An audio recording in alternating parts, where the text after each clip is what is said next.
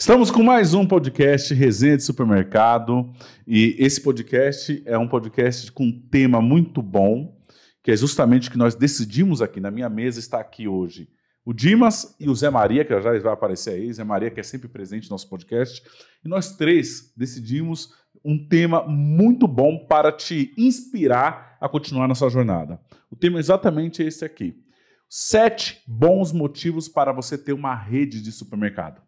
Enquanto uns vão te botar medo, vão contar tragédia, história triste, nós vamos contar história boa aqui para você e refrescar, suas, refrescar sua memória para você entender o porquê você deve continuar nessa jornada. Então, elencamos sete ótimos motivos e vamos discorrer nesse podcast sobre cada motivo que você necessita, necessita estar ainda nesse ramo, tá? E comigo está aqui com o Dimas aqui. Pega a palavra aí, meu irmão. Pessoal, manda mais, tem puxa mais volume. Supermercado é um negócio bom, é um negócio, a gente, como diz o Tiago, a gente vai falar coisas boas aqui e não de maneira desonesta, mas a gente está tá muito acostumado a reclamar, falar de problema. O supermercado é próspero para quem sabe trabalhar. O supermercado é bom para quem entender. O supermercado é uma empresa, não um comércio.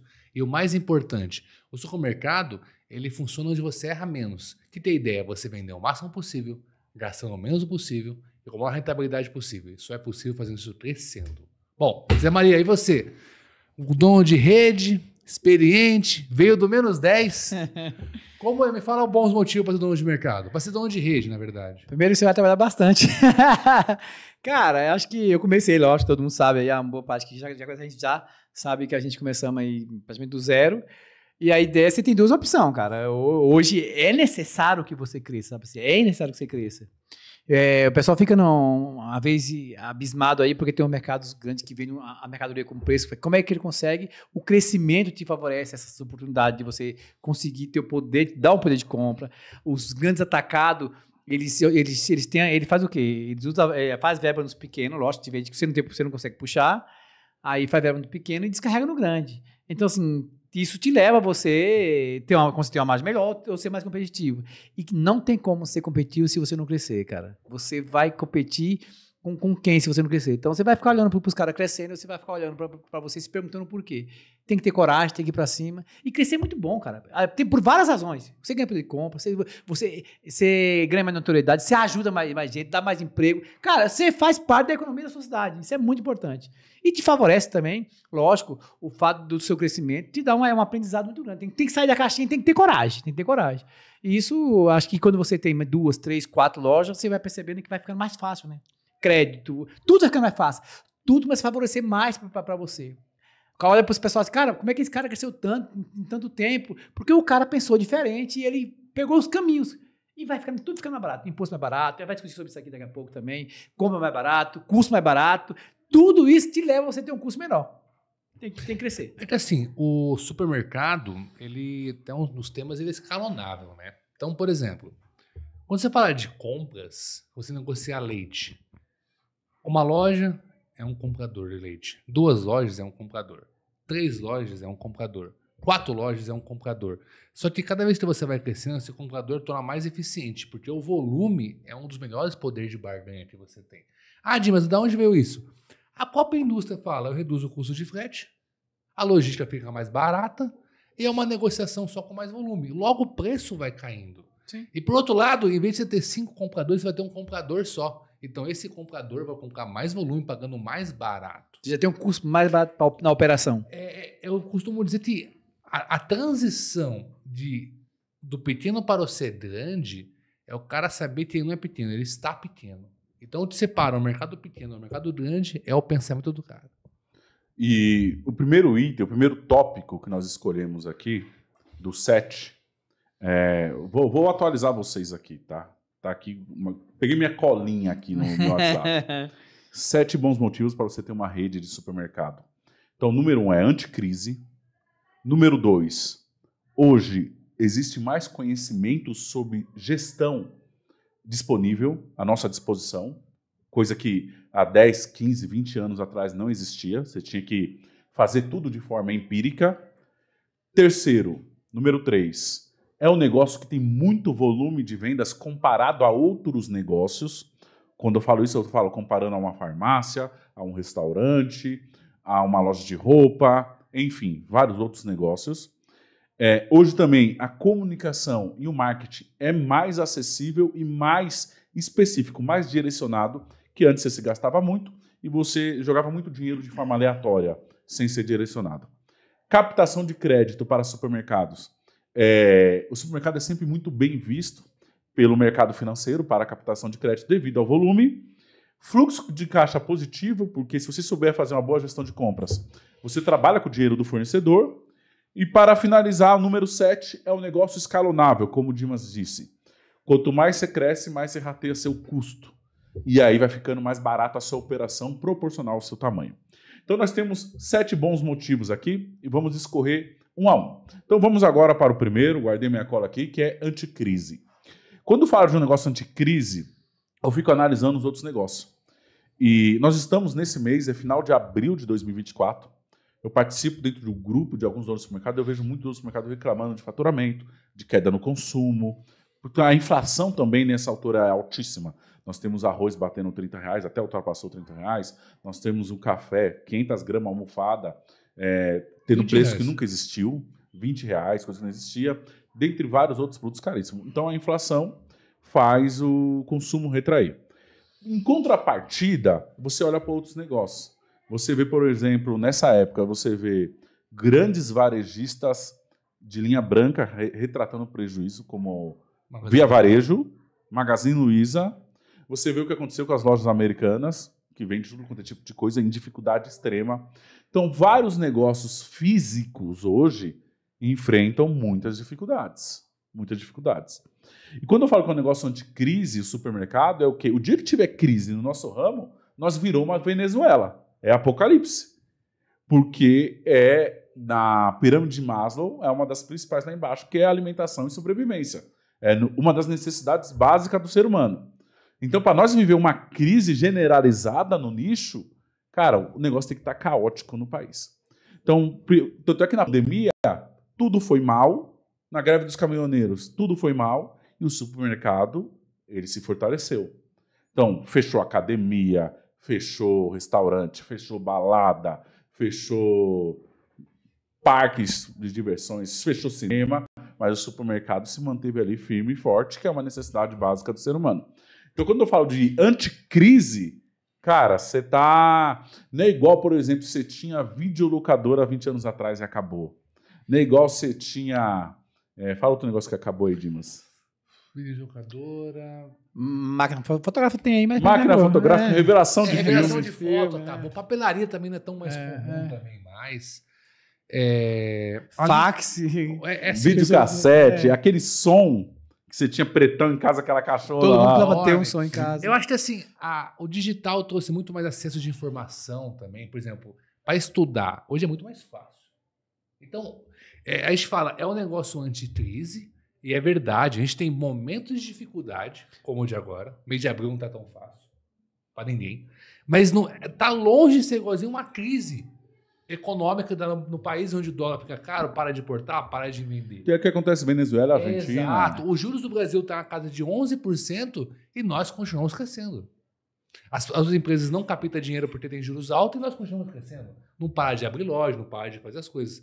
Então a gente tem momentos mais difíceis de inflação como esse, mas a crise não chega.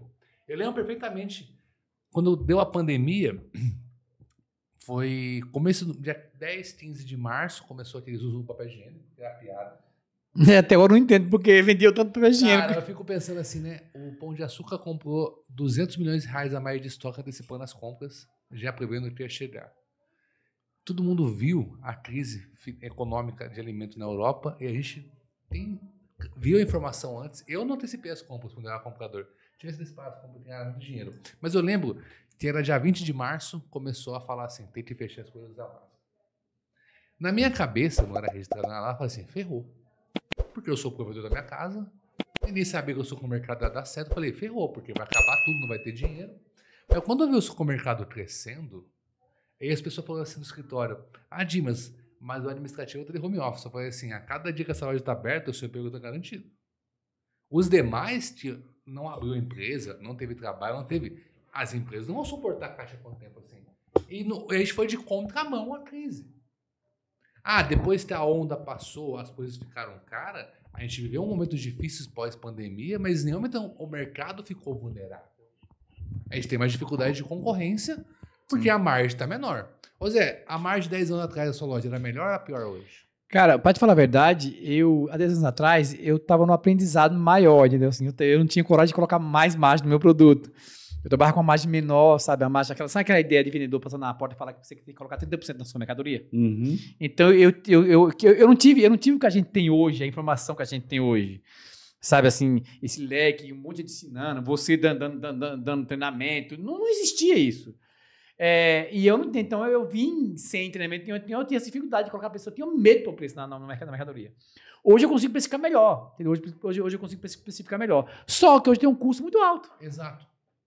que tá tinha tudo antes. mais pesado, né? Hoje o custo é muito alto. Hoje, se o mercado hoje ele não conseguir, que a minha briga que, eu- que eu tô com, eu tô com uma- uma- um plano lá, da gente conseguir crescer em média 2% ao mês para no final do ano chegar com 12% de crescimento anual. Que é para cobrir os custos que, que no ano você, você tem aumento de aluguel, aumento de, de folha de pagamento, 5, 5 mil por cento que deu agora. Então, para chegar nesse valor, que não é fácil. Então, assim, essa briga, porque a gente tem uma, realmente uma economia, um, um juro caindo um pouquinho, também estável, então as coisas que crescem, aumenta o valor, outra, outra diminui, mas no final tem esse, tem, tem esse equilíbrio aí, né? Então, assim, eu te falo que pela experiência, hoje eu consigo especificar um pouco melhor.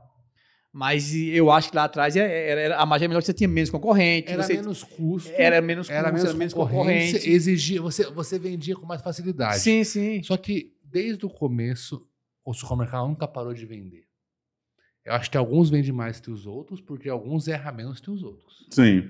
Mas a crise nunca chegou. Crise nunca Não, teve. de não vender, nunca, nunca Não, chegou. Nunca assim, teve. Não, Não. vender, não tem É. quem comprar. Não, é. Nunca Mas chegou. nem no caos que nós não vivemos, da precificação lá no. Do, da, da- um efeito Collor, né? Isso, nem isso. Ah, não, tá, não- tá, Até é, nisso é, vendia. Era- Vendia. Era do, do congelamento. Na verdade, vendia Isso. mais. Vendia Porque mais. o negócio. Sabe um negócio que, que é impressionante que, é, que aconteceu na pandemia? Até eu falo do papel higiênico.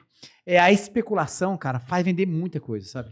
Então, se você for, for mágico, assim, que, que, a fofoca, cara, rapaz, espalha de uma forma, cara. Se o cara criar uma especulação que, que, que o negócio vai acabar, o, o mercado, o pessoal para de comprar tudo, outra coisa, mas vai acabar aquele que acha que vai acabar. E você tem. Foi o que aconteceu na pandemia. Você tem um, um- você tem um crescimento na. Eu cresci 25% na, na, na pandemia, no- nos dois primeiros meses. Aí depois cai, porque o pessoal comprou, armazenou, vai parar de comprar, né? Não tava consumindo mais, porque consumiu um pouco mais que Não, tava é, em casa. Inclusive, você vê os filmes apocalípticos, a primeira coisa que eles Ah, fazem é esvaziar o mercado. É, Né? Já viu isso é, nos é, filmes é apocalípticos? É, o mercado é- vai vender. É, é um ramo, é um ramo que você tem uma margem menor, só que os fatores externos não impactam tanto no, no, teu interno. Mas é uma margem menor, mas ele é muito diferente do que, por exemplo, de combustível, gasolina.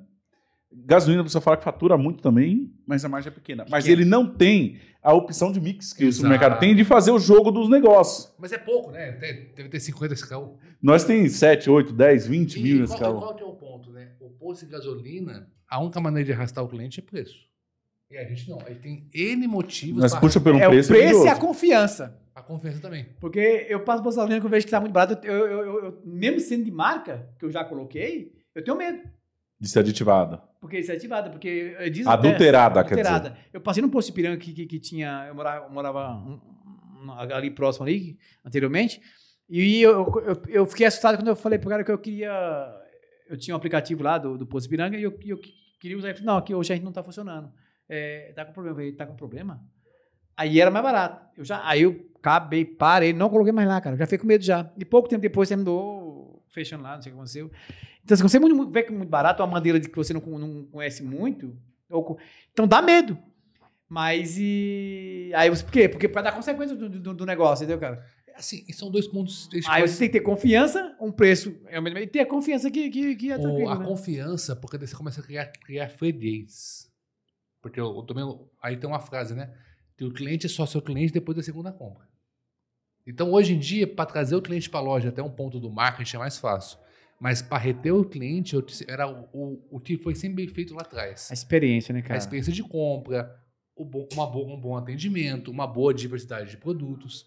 Porque as pessoas confundem muito, que nem você já fez o curso de varejo em faculdade, eu também fiz. Eu fui com uma expectativa de entender todos os indicadores, percentuais, percepção de preço. Era a minha expectativa.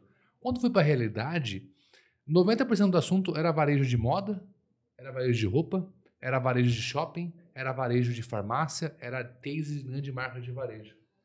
Então, o supermercado é um ramo do varejo de baixa renda, é um ramo que as pessoas têm muita percepção de preço.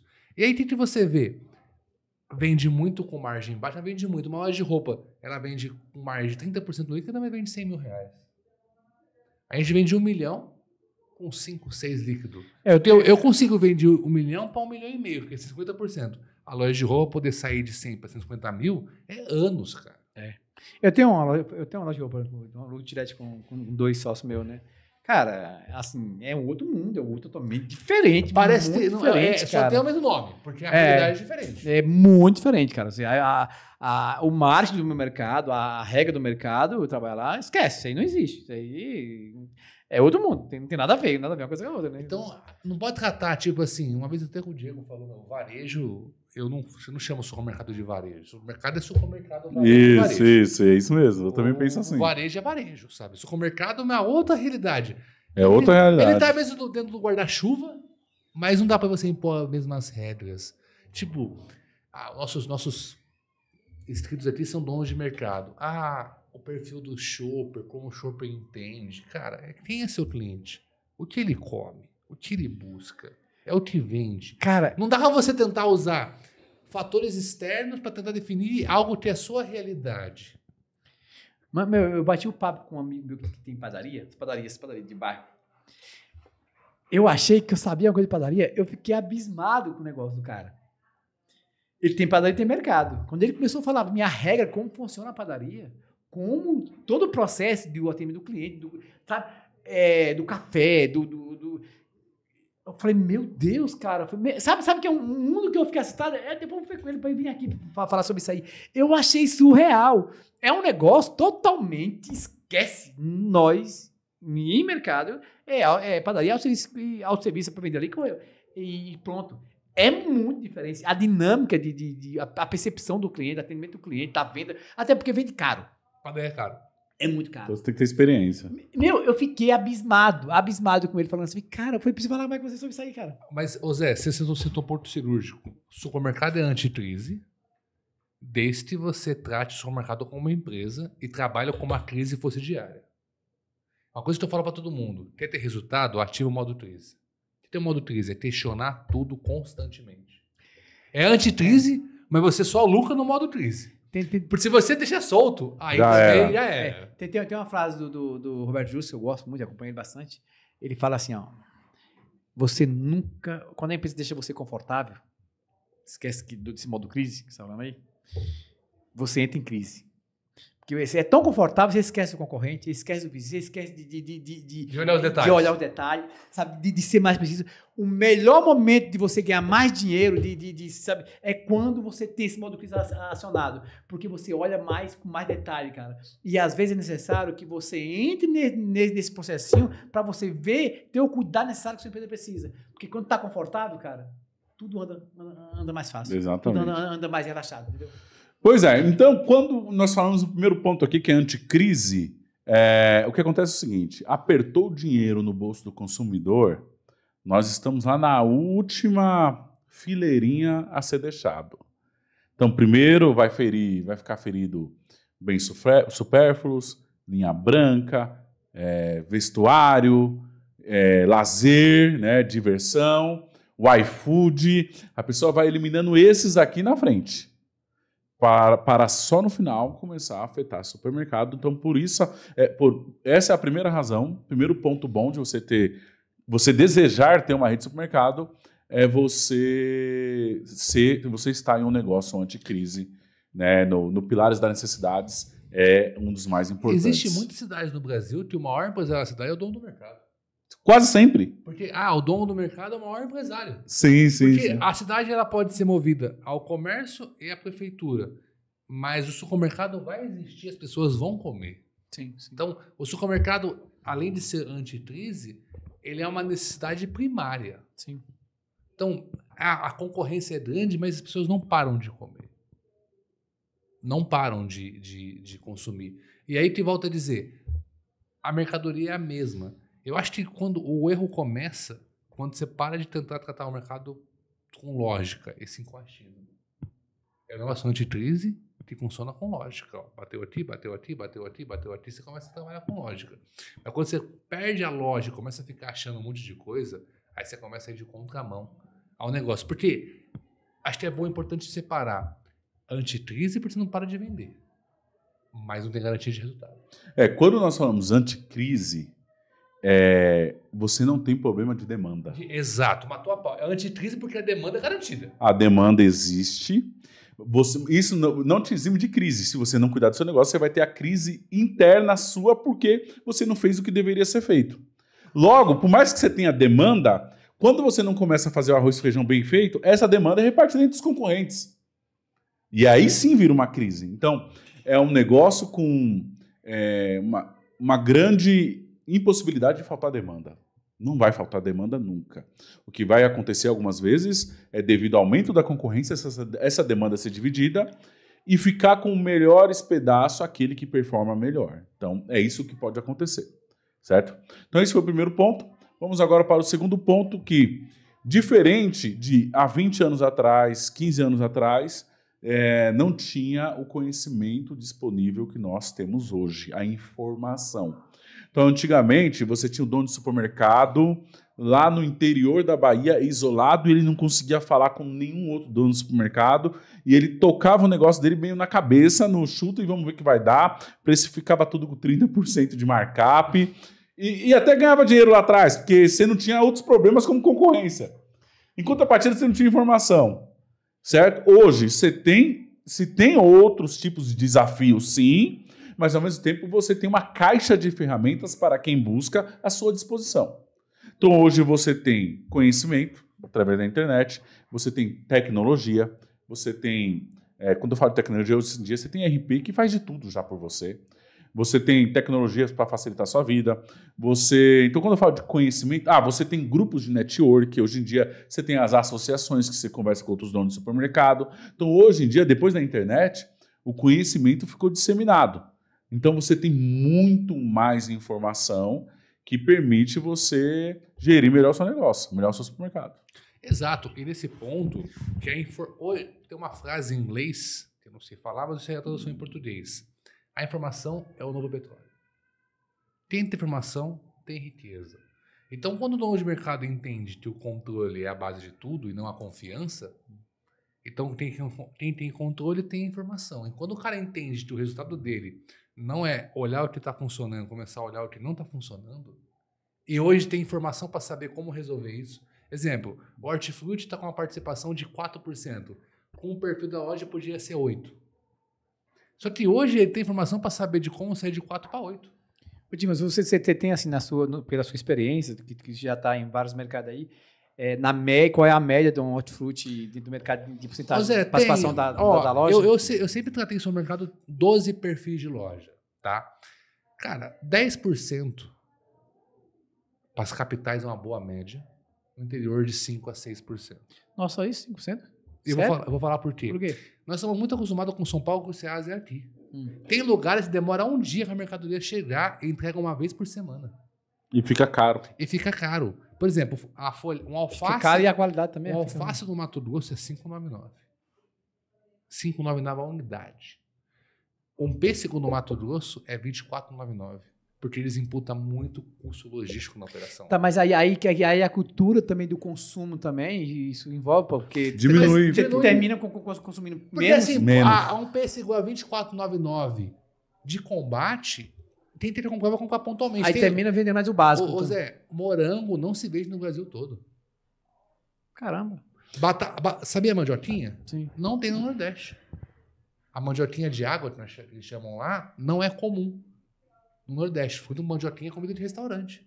E pra gente é comum, porque a mandioquinha não aguenta a logística e o tempo das coisas. Então, assim, pô, a participação é baixa porque a nossa régua é diferente. Mas tem locais que, por exemplo, vou falar de Pernambuco que eu morei lá. Caruaru tem uma coisa chamada Seaca. Eu, eu morava perto de Caruaru. Eu morei em Caruaru e Belo Jardim. Caruaru tem Seaca. É 30 produtos. Se quer comprar coisa boa, você vai para Recife. que fica duas horas e meia para buscar. Então não tem logística suficiente. Ó, não Sim. tem logística, não tem qualidade. Porque devido à logística, atrapalha até a qualidade. Então, de fato, o que o Dimas fala, eu também pego vários alunos. Caramba, é impressionante. Informação que eu não sabia. É. Morei lá, ou seja, lá era outra realidade. Belo Jardim, São Beduna do lado. Eu Eu- nasci em São Beduna. Então, assim, mas assim, esse Cara, mundo eu, ti- eu não tinha. Eu só interrompendo você, Thiago. O onde eu trabalhava montou uma loja em São Beduna, entendeu? Compra fácil. São Beduna perto. Não, mentira. Era em Itacaimbó. Bom. Sei, sei. Meu pai nasceu lá. Tá de pequenininha. Pequenininho, mas Caramba, falar, que legal. cara. Então você pega é, vários, eu pego vários clientes, alunos, quanto mais por longe das metrópoles eles estão, o hortifruti tem menos qualidade e é mais caro. Aí fica assustado quando a gente fala de 12, 15% vivendo Loucura, hortifruti na, na, na loja aqui. Aí o cara, meu, como é que Não, faz? é igual, por exemplo, lojas muito interior, você pega interior de Minas, tipo assim, loja 4 horas de BH, ou loja 5 horas de Salvador. Além do, do problema que eles têm no hortifruti, eles começam a ter problema de ter que estocar mais mercadoria que um mercado comum, porque eles não têm reabastecimento. Eles têm que trabalhar com estoque elevado. Você vai, vai, vai para o Amazonas, cara, que é 15 dias para chegar um produto. Você tem que trabalhar mais estocado e o hortifruti de lá, a qualidade é muito diferente, Muito porque a questão logística o produto vai perder na vida. Por mais que use caminhão refrigerado, tudo, acontece muito. Então, as maiores críticas, recentemente entrou uma rede em contato com a gente de Natal, mais de 20 lojas para querer comprar hortifruti na nossa central de compras. E a maior necessidade deles era a qualidade. Porque deve rodar vários lugares até chegar lá e comprar no Ceasa local de lá. Então o que, que eles queriam? Pegar uma linha só. Não, compra direto do Estado de São Paulo já vem. Pode demorar, sei lá, Aí, 20 horas, não sei quantas carro horas. é. refrigerado. E já vai. Porque para chegar nesse Ceasa de Natal, ele rodou, rodou, rodou, rodou, rodou, chegou lá, ele comprou, vendeu, e a qualidade é ruim. São dois Caramba, pontos. que- que- Eu vou. Você vai do, do, Amazonas, o Abraim, vende 700 mil reais de hortifruti numa loja de tre- 300 metros quadrados. A calçada é o hortifruti dele. Só consigo comprar uma vez por semana, porque o refrigerado vem de barco. Mas ele vende 700 pau só de hortifruti? Só hortifruti. Tem a calçada. Aí o cara vende muito, vende pra caralho. Muito, muito. Só que tem que vir de barco o refrigerado, porque o caminhão não aguenta todo o tempo de transporte de compra do Pará. E vou dar outro exemplo. Lembra do pessoal lá do, de Petrolina? Petrolina, por causa da SUD lá do São Francisco, virou um berço de exportação. Aí ele, ele comentou comigo que é 6, 7 produtos só. O restante é caro, tá com ruptura. Caraca. E é o berço de exportação de fruta. Então é importante que você, na sua região, entenda o, su- o seu mercado, é, que essa é a realidade. a sua Eu, realidade. ta- eu tava em Fala Natal, loucura, né, eu cara? tava em Natal semana Loucura. passada. É. Ele falou assim, Dimas, tudo tem de compra aqui, vem de fora do estado. Só, que- é, só que também, se você que tá num lugar que tem essa dificuldade e você achar um caminho pra se diferenciar, Você se destacou. você É. estoura, cara. Aí é onde entra conhecimento, Sim. que é o segundo ponto. Sim. Então você tem, hoje em dia, você tem network e você tem conhecimento. Então, por exemplo, é, onde você teria que tem nosso podcast aqui, que é um dos pontos de conhecimento gratuito. Não onde você teria antigamente. Não tem. Não teria. Pra um negócio que fala. Meu, é o, é o maior podcast do Brasil. Só fala desse mercado. Rapaz, é, é tanta história aqui, é tanto conhecimento que você teria que pagar muito caro pra ter isso aqui, cara. Muito caro. E é de graça. Informação, é de graça. informações de pessoas que não veio do palco, né? Pessoas que viveram a realidade. Exatamente. Porque a, a informação tá ali, aí qual que é o ponto? Antes o cara não tinha informação. Aí hoje a ignorância toma conta dele de não entender que as coisas mudaram. Então não- hoje não é falta de informação, hoje é ignorância. Hoje o cara achar que não vai mudar, é o jeito dele ali e tal, porque ele sempre tocou daquele jeito. Antes Sim. ele aprendia empiricamente. Agora ele é obrigado a mudar e tem dificuldades de mudança.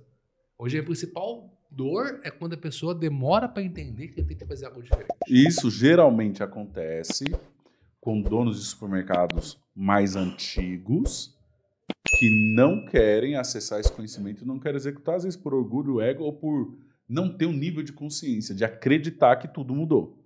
Isso muda quando vem a segunda geração, que são os filhos ou netos, até quando é terceira geração, de donos de supermercados mais jovens que herdaram o negócio de sua família, estão entrando na gestão agora, e tem uma visão mais moderna e acessa conhecimento e adquire consultorias, adquire mentorias, adquire tecnologia. Então, hoje o conhecimento proporciona deixar a gestão do supermercado mais leve. Hoje, então, esse é o segundo motivo. Então, hoje você tem uma rede, o que tem de ferramentas aí, seja de conhecimento, seja de tecnologia, que te ajuda. Né? Por exemplo, o Zé tem uma rede. Então, para ele saber que o fornecedor mandou o produto certo, eu tenho que ter uma RP que tem que ter o pedido de compra. Sim. Tem que bater custo, prazo de pagamento, tudo. E bate certinho, se estiver alimentado, Como você ia conseguir fazer isso se não existisse essa tecnologia não, antigamente? não tem como, cara. Eu lembro, Não tem como. eu lembro assim, vagamente, como a nota fiscal, quando eu entrei no canal 2004, cara, era como se fosse uma escritura de um imóvel, cara. Porque se perdeu a nota fiscal, você perdeu tudo. Não tinha XML. Não tinha outra. A nota fiscal, se perdeu, você perdeu o processo. Acabou, é. Então, assim, é, hoje mudou tanta coisa. E, por exemplo, eu acho que o divisor de águas que a quantia de informação trouxe é que o dono de mercado hoje ele consegue pegar um ponto ruim e montar uma loja boa. Antes, o ponto do mercado era uma coisa inegociável. Se o ponto for, não for bom, a loja não prospera e o cara não consegue levantar. E hoje você pode pegar um ponto do zero em seis meses e levantar ele. Porque ele tem tanta informação, primeiro, do como fazer, e segundo, de como chegar no cliente. Porque você depende antes de panfleto. Você vinha Pão de Açúcar Carrefour fazendo panfletagem. O- os panfleteiros, que na época nós já era pacoteiro, se você é pacoteiro, você é panfleteiro, né? Você tem duas opções. Eu vi o pacote. Você já foi panfleteiro já? Já foi os dois. Cara, eu Eu, eu comecei do lado de fora, com a professora. Depois fui colocado do lado de dentro. Não, eu já Na fui, sombra, tava eu já fui melhor. panfleteiro, Tava na sombra. trabalhando com pacoteiro. Pa- Panfleteiro é terrível. Não, eu era É. um panfleteiro fiel. É. Ô, não, aquele o- exemplo aqui, ó. Fiel, cara, é umzinho em cada portão. Aí quando chegar no final do dia, todo mundo. Acabou, acabou, acabou. E eu Consigo um monte. Falei, cara, será que eu tô andando menos? Na verdade, eu era honesto, caramba. Não, ou, ou era gordinho, ficava assado. Essa sabe? surpresa que eu tinha cara que tinha frota de perua pra fazer isso aí. Frota de perua! Ah, quebrou quebraram tudo. tudo, cara. Quebraram assim? tudo, Perua. cara. Aí, por exemplo, só dependia disso. Era um jornal de 15 dias. Eu lembro da Rede Valor, que fazia jornal de. Era dois jornal por mês, cada 15 dias que fazia. E hoje, então, se o mercado não fosse conhecido, não fosse um ponto bom, não tinha espaço para ele. Começar do zero sem essa informação era terrível. Não, nem, não, era difícil você abrir outra loja.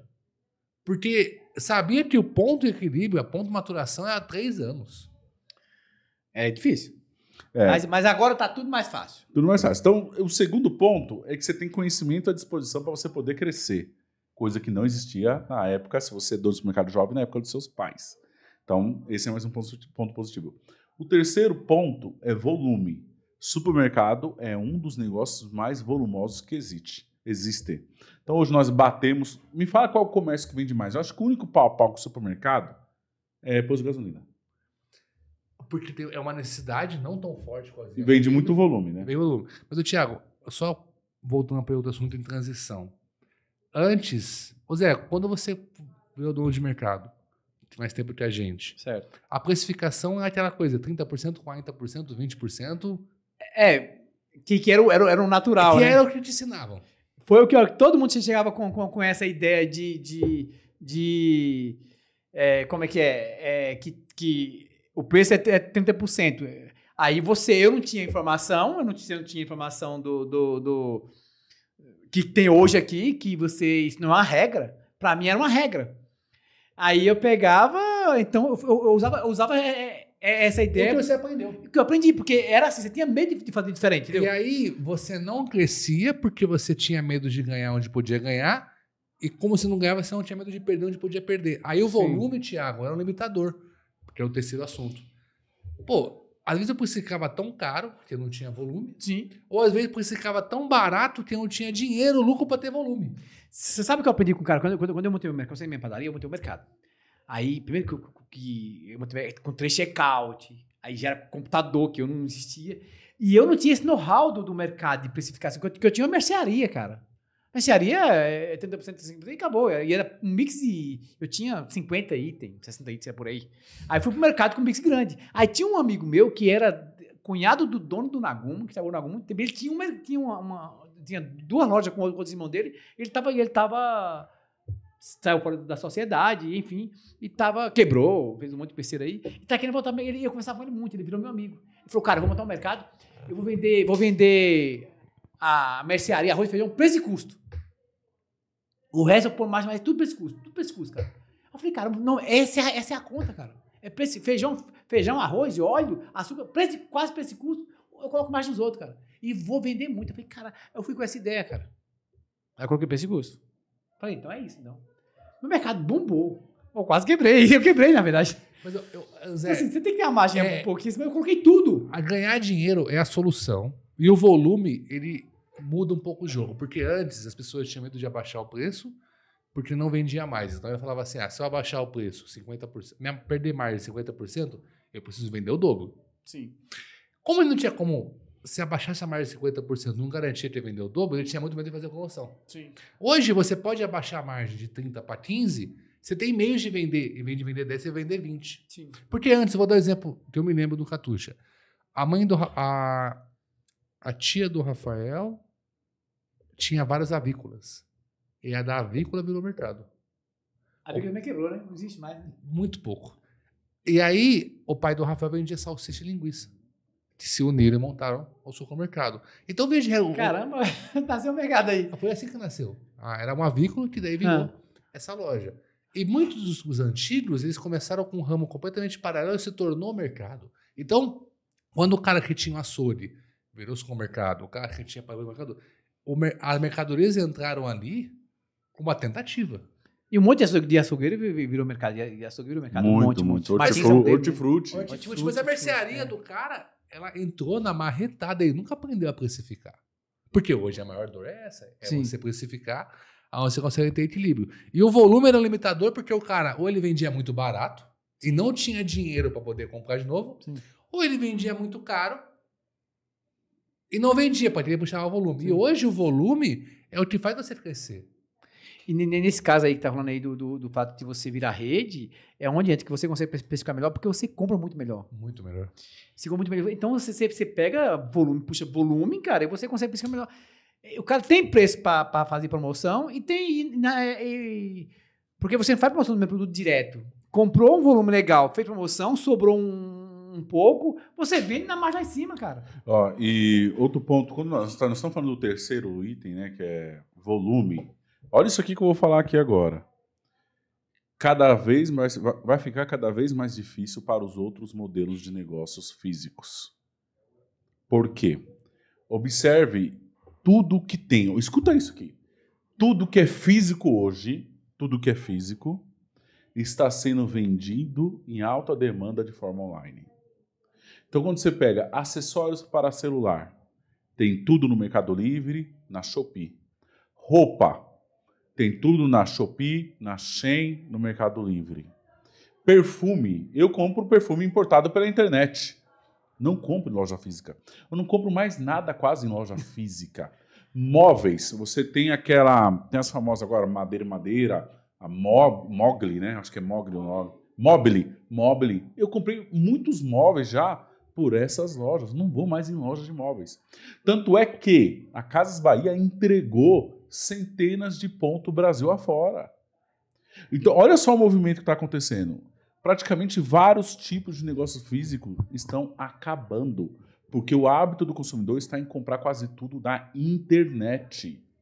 Com isso, só só rapidinho, Zé, só deixa eu terminar aqui. Com isso, é, o único negócio volumoso, forte que ficou, eu vou te falar. Supermercado, é, farmácia, que é algo rápido, a pessoa quer comprar aí na hora, posto de gasolina. É açougue. Mas açougue? tá dentro do mercado. Mas ainda vem verdade. dentro do mercado. É. Esse ponto que aconteceu, que nós falamos agora, desses outros negócios virarem supermercado, foi um outro movimento. E nós falamos também das avícola, também acabou porque o dono do supermercado começou a queimar ovo no supermercado. O dono do supermercado entendeu que ovo é gerador de tráfego. Acabou com as avícolas. Depois que o do supermercado que Acabou você bota com as ovo padarias. com 20, 9,99, você faz uma Ou arruaça. padaria é muito boa, É, Acabou. ou não existe Ou- mais. é, ou o que acontece hoje é o seguinte: ou esses outros negócios de alimento é específico e diferenciado, ou ele acaba. Ou ele é uma padaria específica e diferenciada que vem de experiência, que é o happy hour para a pessoa sentar lá, tomar um café, pegar aquele colonial, ou ela acabou. Ou o açougue vende aquela carne diferenciada, tipo netão, bom bife lá, ou são aqueles açougues gigantescos, que são grande parte deles meio irregular, né? Contrata o açougueiro para pagar o dia, e aí ele consegue ter lucro. Pesa, co- cobra um quilo, o cara leva 800 gramas. É, ou, ou eles vão, ou é um oba, que é um hortifruti diferenciado, ou esses negócios acabaram. Por quê? Porque supermercado é o negócio mais volumoso que existe. Então, logo, o cliente. Não existe, ó, não existe negócio físico que circula mais gente no supermercado. Me compara, me fala qual é o tipo de negócio que tem entra mais cupons por dia.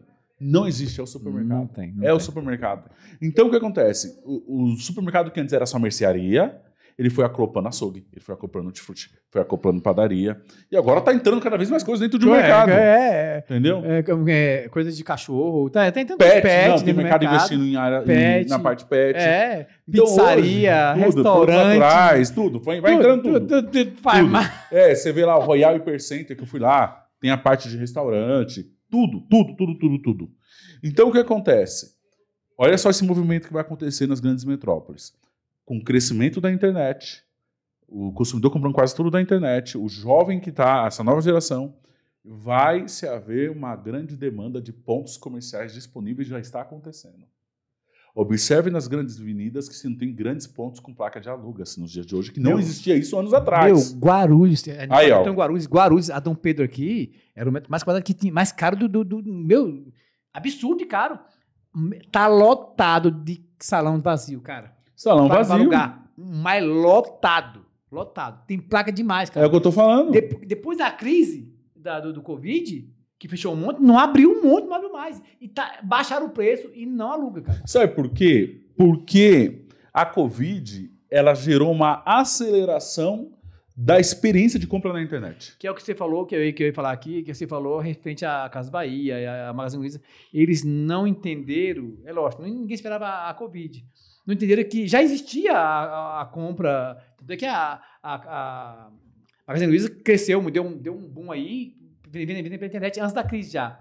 Só que assim, depois da crise, cara, eles desandaram. É só prejuízo, porque descobriram que o pessoal descobriu que é um negócio que não precisa comprar. E é tão seguro que você, no caso deles, que você compra, meu irmão comprou a geladeira, veio a massagem, ele pegou, pediu devolução e não vieram buscar, ele comprou outra, ganhou outra geladeira, porque o cara era mais caro voltar para tirar todo o transporte do que tirar. Ou seja, a confiança de você comprar e receber um negócio bom em casa. Ó, olha só, olha o que acontece. Olha isso aqui. Por que, que a, Magazine, a Magazine Luiza disparou lá atrás? Porque ela foi a primeira a entender o digital e, bum, tava nadando de braçada. Quando veio a pandemia, ela cresceu mais ainda, só que todas as outras entraram. Casas Bahia, foi, qual foi as concorrentes aí? Todas as outras, de linha branca, entrou, depois entendeu. Logo, vai cair a demanda da Magazine Luiza, que ela estava reinando sozinha. Sim. Quando entrou todo mundo, a Casa Bahia começou a fechar loja, fechar loja, fechar loja, fechar loja, fechar loja. Vamos pra internet, é o mesmo estoque, um CD já era. Casa Bahia tinha, na- no calçadão aqui, do Dom Pedro, tinha umas sete lojas. Era Bahia. muito. Eu lembro na Marechal São. Miguel, era muito É. uma do lado da outra. Se tiver duas, é muito hoje, cara. Exatamente. Ó, emprego, quem gostava de trabalhar, emprego bom era vendedor da Casa Bahia. que ele ganhava uma baita comissão. Sim. E aí, e aí, olha só isso aqui que acontece. Olha o que o consumidor faz hoje. Ele quer comprar algo online, ele vai na loja, ele olha, ele olha o preço. Cara, se for calçado, calçado, ele vai lá, caroça lá na loja de, de calçado, bota o tênis, olha na marca, olha o tamanho, olha tudo, vai lá na internet e compra mais barato. Mais barato, cara. Teve um Não case. tem a comissão do vendedor, né? Não Teve- tem a comissão do vendedor. Teve um case nos Estados Unidos, eu não sei o nome da loja, que a loja física de elétrico estava se perdendo e eles estavam começando a quebrar. Só que a indústria estava usando a loja física como fosse monstruário dela. Aí comecei, em vez de ele começar a vender mercadoria, ele vende, só que ele cobra como fosse um royalties do espaço do metro quadrado para virar monstruário, monstruário da Samsung, da LG, das marcas, porque as pessoas vão lá ver o produto e compram na internet. Já tem Magazine Luiza assim já. Se você fe- se, se fechar toda a loja física, o contato com o produto acaba se perdendo também. porque As pessoas gostam de ver se Sim, é bom e sim. tal. Mas eu acho que banco também perdeu muito espaço. Banco entregou Cê é muito. Lembra, bem lembrado, Dimas. Você é louco, mano. Meu, lá, lá em Tremembé fechou Itaú. Fechou, acho que é, Quase Itaú não tem teve caixa mais, mais. Os bancos fecharam um monte de agência. Não compensa mais. Mas lembra que era um inferno pra você pagar uma conta? É, Era Era. muita Era um- fila. Esse é louco, ó, cara. Eu Entendeu? acho que assim, quem mais se ferrou foi a Casa Lotérica. a Casa Lotérica vai. eu Não sei gosto como ainda existe. Porque as pessoas. Com, do junto- jogo. Junto- jogo ainda. Mas tá tudo na internet, tá? Não, a casa lotérica era um gerador de tráfego. Casa- o, o do casa lotérica era tipo cartorário. Não falha. Porque cartorário ainda é físico. Então esse Sim. mantém. Mas a casa lotérica, na hora de pagamento, tinha. Mas tá frente- mudando bastante já também. Mas mudou muito. Mas antes da pandemia, na frente da casa tinha uma casa lotérica. A fila era de umas 500 pessoas. É, o dia inteiro. Os Era um cara- gerador de tráfego Os caras pesado. vendiam água na fila. mano. Não, ô, ô, Dimas, eu cheguei, eu cheguei a entrar em contato lá na Tremembé, é, por ter menos de 50 mil habitantes, só cabia uma casa lotérica. E a Não, duas, né? duas, duas. E já tinha as duas na cidade. Eu Cara, cheguei aí na agência da Caixa Lotérica, as duas que tinha, e dar o meu nome pro cara, e deixei meu telefone. Eu falar pra ele que se ele pôr a Caixa Lotérica, a Casa Lotérica dele no meu supermercado, ele não paga aluguel, é de graça. Porque eu entendia que era gerador de tráfego. Hoje não precisa Meio- mais. Meio, meio milhão a casa lotérica. Que aí os caras estavam cobrando aqui pra, pra, pra, Pra concessão. pra concessão. Meio milhão. E os caras pagavam. Tem casa lotérica que vai valendo um milhão de reais. Não, você vai acabar. Depende de faturamento, cara. A casa lotérica se perdeu. E assim, o tráfego de pessoas ficou mais difícil, porque como trouxe muito acessibilidade, então negócios muito grandes que não tem pessoa é caro. Por isso os hipermercados começaram a se perder. Hipermercado ou divide com essas lojas de Leroy Merlin, essas lojas de centro e castilho e tal, ou ele precisa virar atacarejo. Vocês conheceram o Expo Aeroporto? Não, essa sim, mas. Do, do aeroporto? Qual é o não. aeroporto? O aeroporto Congonhas. Não. Quando saí do aeroporto Congonhas, você descia em direção ali a Santo Amaro, a Zona Sul, tinha um extra, que era um, um- um quarteirão todo de quatro andares, cara. Imagina o custo do negócio desse, cara. Meu, é- é- era, o shopping era pequeno, era enorme, era enorme. Quando começou a virar, o pessoal falava assim que para poder esvaziar o estoque no saldão foi quase um mês. De tanta coisa que tinha aqui na loja. O Caraca. eletro era enorme. E aí ele ficou insustentável depois da pandemia. O, virou, virou atacadão, açaí. E metro quadrado é o pior açaí que tem em São Paulo. é Lá, de tão grande que era a loja. Só que no passado o hipermercado era sinônimo de bom negócio. É, né? Só que assim, como tá tão pesado, se não vende, o custo fica caro. E lá o metro quadrado é muito caro né, por causa do aeroporto. Imagina o... Então é, é insustentável. O Pão de Açúcar, onde eu morava ali no Jabaquara, eu quando. Primeira faculdade que eu fiz, eu tinha 19 anos, eu trabalhava, eu fiz curso com o encarregado de padaria naquela loja. Naquele ano dava prejuízo a loja. Mas era a loja lá da rodoviária, então era um ponto muito bom do Pão de Açúcar. Então eles financiavam prejuízo, financiavam prejuízo para não perder o ponto. E hoje dividiram com pet shop com pets e reformaram a loja para virar aquele novo modelo do Pão de Açúcar, porque o Pão de Açúcar é uma loja mais cara e não tem volume. Quando eles ficaram lojas muito grandes, ficou insustentável. Porque mudou o perfil de consumo. Mudou. Porque antigamente o cliente fazia compra no mês, né? O cliente das metrópoles. Hoje ele faz no dia a dia. É semanalmente, É, É, diário. mercado de vizinhança. Exatamente, cara. E aí Entendeu? os caras começaram Isso a ferrou os hipermercados. As pessoas pegavam, os pessoal que, que, que era, já, já era a etiqueta, né? O cara pegar no, no mês, que eles iam pegar o carro dele e ir lá pro Mercadão Grande, lá pro, pro, pro Pão de Açúcar. pro Isso, pro zíper. Carrinhão, três carrinhos de Isso, compra. era isso. Cara, acabou? Acabou. Porque os mercados de bairro também evoluíram na qualidade. Evoluíram. Assim? isso. A construção do mercado, quem tinha um piso de, de, de granito, quem, quem, quem, quem tinha de. É, Foi isso que mármore? matou os hipermercados. Acabou. Por isso o mercado que acabou tudo. E, eles se adaptaram. E Sim. o, mal hoje é que o dono de mercado não quer se adaptar. Ele tenta achar que as coisas têm que funcionar de maneira orgânica, né? É, vai. O, um exemplo claro disso, ele acha que as- o dono de mercado que acha que hoje ele não entendeu que volume ganha o jogo, a mercadoria vende sozinho, ele tá perdido. Tá perdido. Se vende sozinho, tá vendendo um pouco. O que você não faz algo para começar a vender mais, tá vendendo um pouco. Então aquele pensamento, ah, toca a marcha, ele vende sozinho, se ele vende sozinho, aí você tá ferrado. Porque se o jogo é de volume, como você acha que algo vende sozinho vai vender volume? Acabamos de falar que o volume que ganha o jogo. Se vende sozinho, ele deixando o volume embora. Então, isso aí cai, cai naquela ideia de antigamente que a pessoa fazia uma lista de uma lista para ir no mercado fazer compra, né? Hoje você, não vai ver mais. É onde não vende sozinho, é onde você vende por, por, por Você força a vender. que Você possa vender, né? Porque antes era travadinho ali. Não, depende de como você expõe, aonde você põe. Você tem que entender que o seu mercado ele tem que ser um, é um trabalho que não é fácil, cara. É um trabalho que você gera, que cria, gera necessidade das pessoas ao ver. Impulso e conveniência no Impulso e talo. faz com que ela, ela, tenha, ela perceba assim a percepção de oportunidade. Compra sem precisar e porque acha que porque tá, tá no local. Putz, isso aqui é legal, vou levar isso aqui, isso aqui tô precisando. Você cria necessidade na pessoa quando você expõe um negócio de uma forma bem atrativa. E aí você começa a construir é, informação, você consegue a criar novos, novos parâmetros, né? Sim. Eu lembro que a Marli falando, eu lembro do discurso da Flor Dimas, eu gostava de vender arroz. Ela falou, arroz dava 30%. Aí, Na época, um repositor vendia 200 mil reais, aonde um, real valia muito dinheiro. Então, se eu tivesse cinco funcionários, eu vendia um milhão de reais de cesta básica. Então, eu não queria vender o restante. Esse tinha porque era importante. Eu não queria vender o restante. Eu queria vender arroz e feijão, cesta básica, óleo. Porque ela falava custo baixo, eu ganho na margem tem alto nível de consumação. Hoje, eu, ela falou assim: arroz e leite, eu já não, não me preocupo mais com isso, eu danço falar uma música. Se abaixou a régua, acompanha. Se eu ganhar, falou assim: se eu ganhar na compra, eu ganho dinheiro. Se eu não ganhar na compra, eu não ganho mais nada. Ela falou assim: em 20 anos o jogo mudou completamente. Então, hoje é mais fácil porque eu consigo ganhar 50% no, no, no açougue. Aí o mercado colocava o arroz dentro da loja já, na na cara da loja, já pra mostrar. Queriam vender arroz. Queria vender arroz. Queria vender arroz, queria vender arroz e feijão. E hoje virou commodity, cara.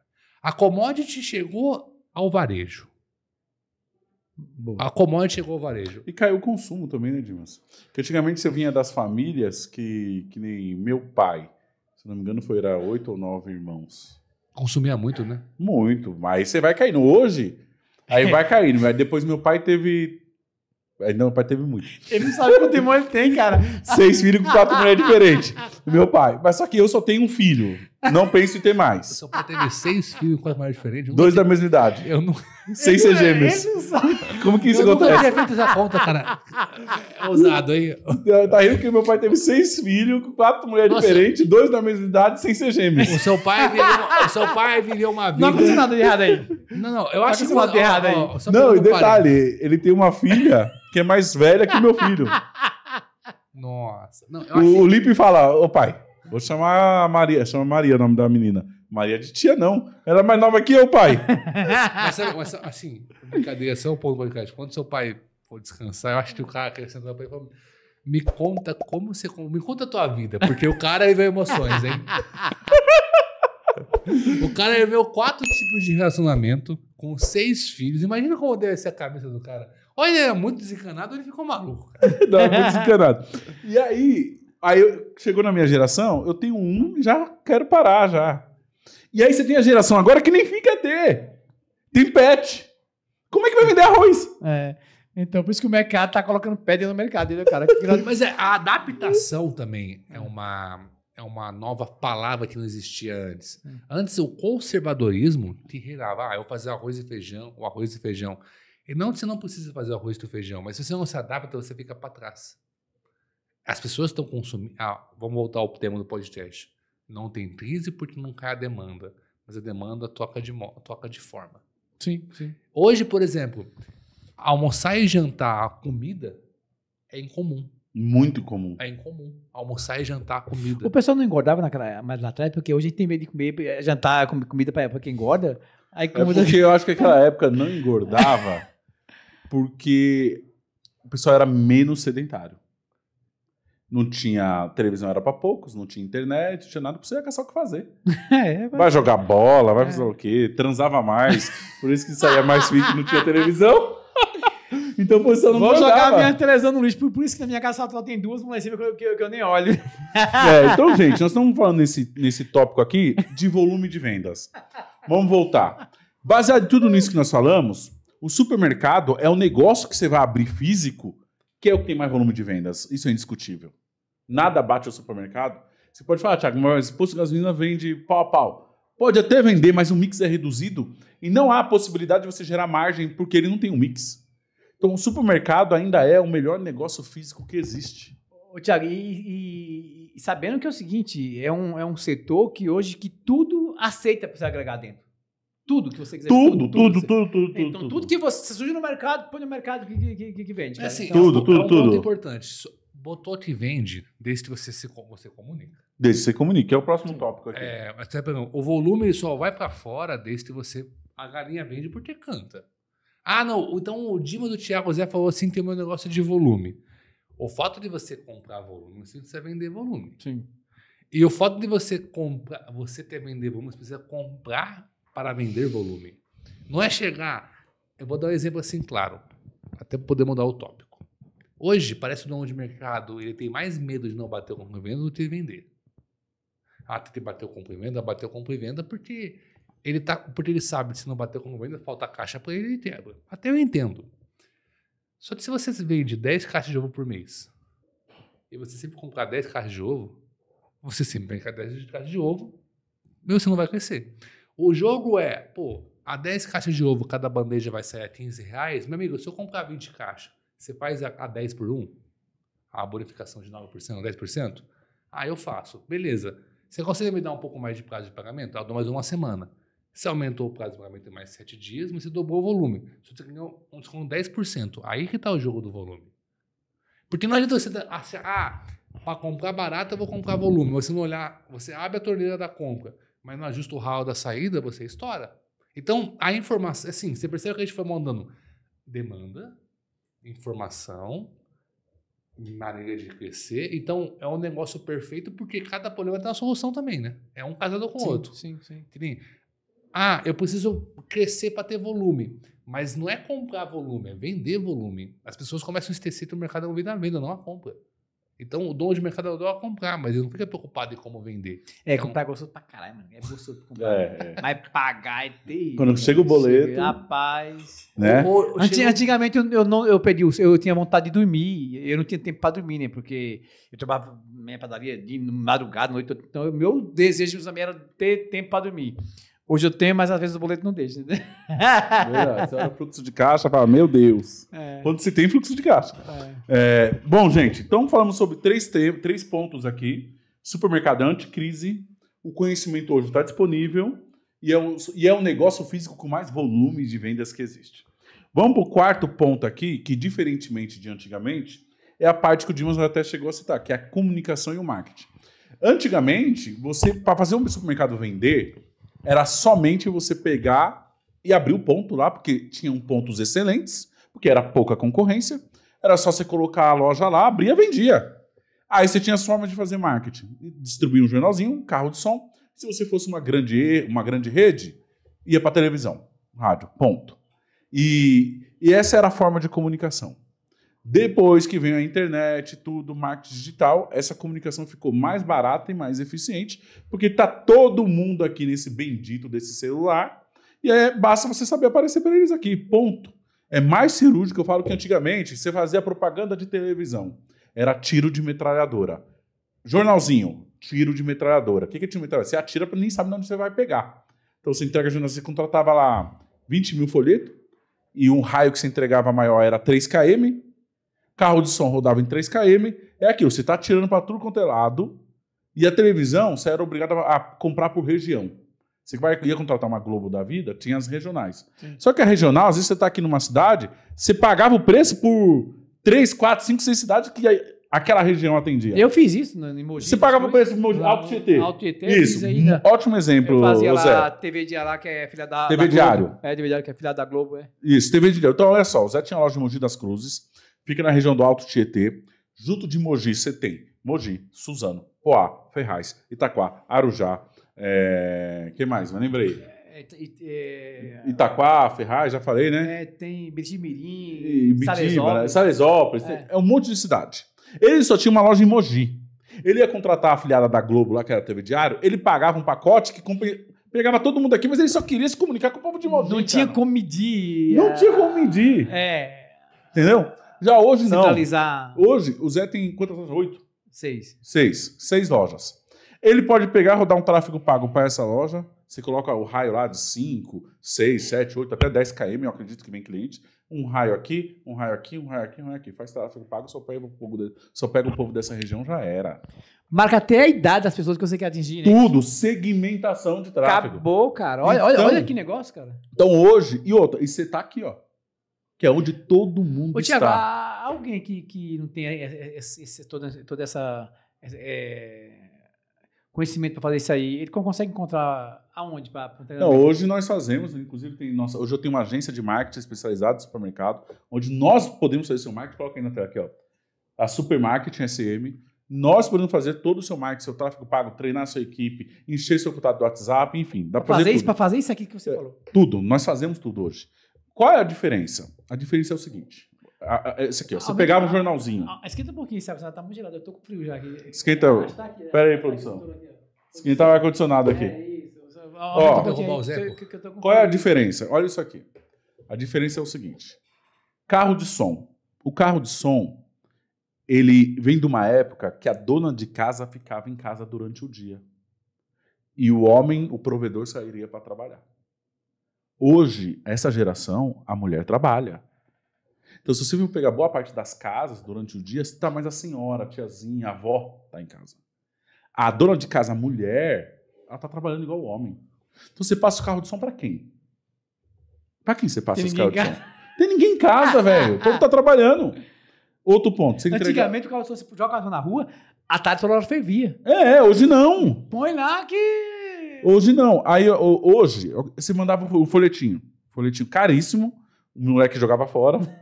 Essas empresas de perua jogava Só fora. você que não, é. Que eu peguei, eu já contei a história. Já, já, já- você já viu a Eu no história? bueiro. Não, Não, já- não, não. o cliente entregando um pacote aí. Você nunca bueiro, viu a tá? história que essas empresas roubavam? Não. Nunca viu? Eu tenho uma história do SETA. Nós- No SETA, nós pegamos duas empresas. A empresa roubava. Mas- O quê? Jogava milheiros e milheiros fora. Ah, tá. Cobrava o dono do supermercado pro Sim, milheiro Sim. e jogava fora. Você sabe quando eu descobri isso? Que eu falei, meu, tem coisa errada. A conta não, é tão dito que não fechava. Tipo, os caras cobravam 35 reais por milheiro. É isso, cobrava pro milheiro. É isso. Aí você mandava lá 10 mil jornal pro cara. Aí dá o quê? 350 conto. Aí o cara vinha com, com 6, 7 moleque. E um, e um motorista ainda. Aí você fala, bem, mas sabe por quê pro cara? Como o cara vai pagar 7 moleque? Era muito nítido que o negócio não fechava, que ele fazia isso aí. Fechava. Porque o cara pegava lá 35 conto por. Era isso, 35 reais por milheiro o cara Eu cobrava. nem lembro quanto Era que isso, aí eu pagava isso aí. Aí eu pegava 20, 20 mil, mandava pra duas lojas, o cara colocava uma perua aqui, outra perua lá, com motorista, com mais seis meninos. Ué, aí vai ganhar quanto? Pra rodar o dia inteiro em gasolina. Não, eu tive um Roubado. caso, escuta esse caso aqui. Eu tive um caso no SETA, que esse caso é cabuloso.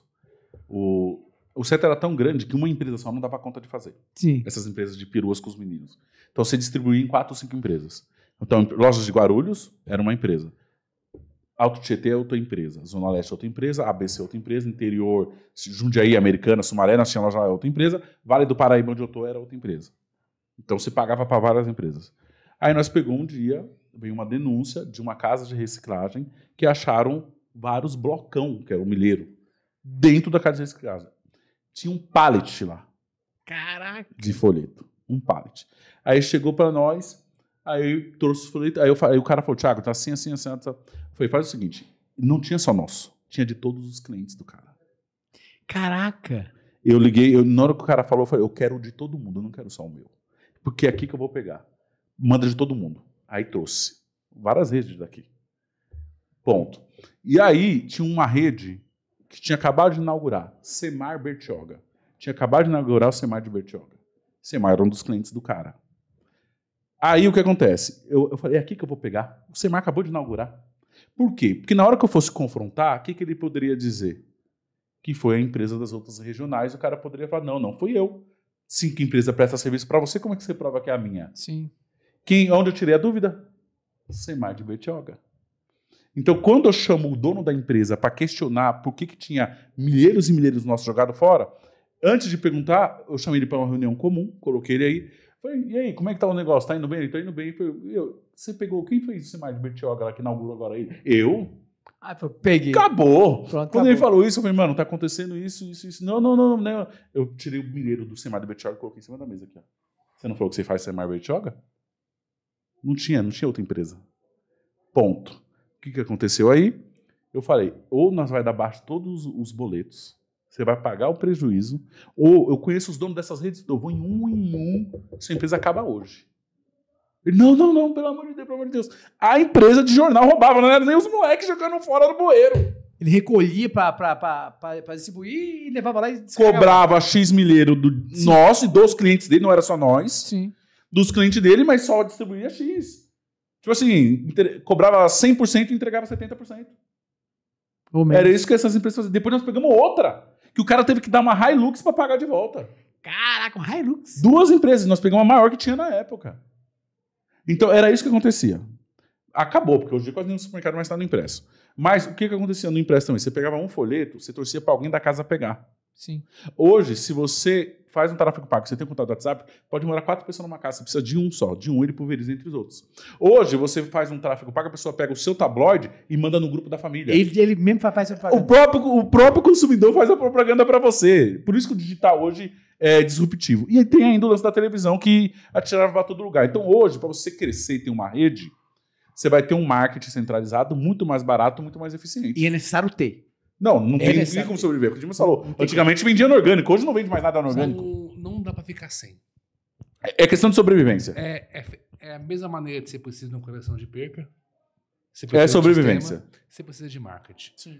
O, o, o vende sozinho não existe mais. Não existe, não o, existe. o, o seu cliente ele é assediado por todo mundo. Por todo mundo. Falou tudo, Dimas. Assediado O- por todo O mundo. assédio no celular dele, todo mundo. Porque não é. Eu vou dar um exemplo. Eu preciso comprar um computador para mim para acessar o sistema do Vida Nova. Porque o MacBook tá com dificuldade de acessar.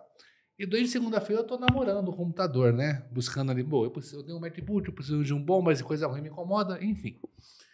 Cara, cada vez que eu mexo procurando. Ah, Parece mais oferta No- no algoritmo. Nossa, cara, eles eles estão implacáveis, cara. Eles estão implacáveis. As empresas todas já vêm atrás, cara.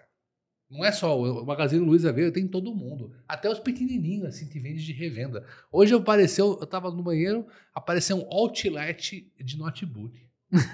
Outlet, Ah, não, essa é boa. Aí eu fui e pensei, falei assim, nossa, como esses caras tão espertos, cara. Eu, eu, eu, eu dei a cara ali, eu botei a cara na porta, eu dei uma olhadinha, os caras falaram assim, quer comprar, quer comprar, quer comprar, quer comprar. É isso, é isso, é Eu isso. falei, assédio. E eu fui, peguei o meu modelo, comecei a pesquisar, os preços tudo igual.